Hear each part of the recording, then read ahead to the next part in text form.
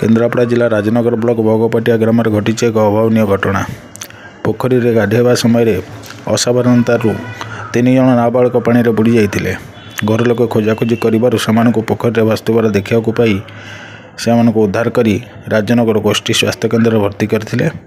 ତେବେ ଡାକ୍ତର ତିନି ଜଣଙ୍କୁ ମୃତ ଘୋଷଣା କରିଛନ୍ତି doctor Ashwindra Mohanty medical officer CHC Rajnagar ମୁଁ ଜଷ୍ଟ ଗୋଟେ ଖବର ପାଇଲି ଯେ ବଗପେଟା ଏରିଆରେ ତିନୋଟି ପିଲା ପାଣିରେ ବୁଡ଼ିକିନି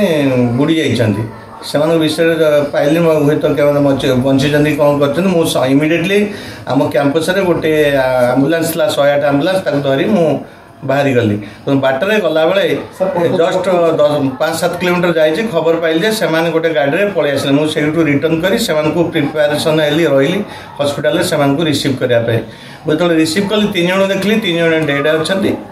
ଆଉ ବର୍ତ୍ତମାନ ତାଙ୍କର କେମିତି କ'ଣ କରାଯିବ ମେଡ଼ିକାଲ କେସ୍ କରାଯିବ ତାଙ୍କର ପୋଲିସକୁ ମୁଁ ଜଣାଉଛି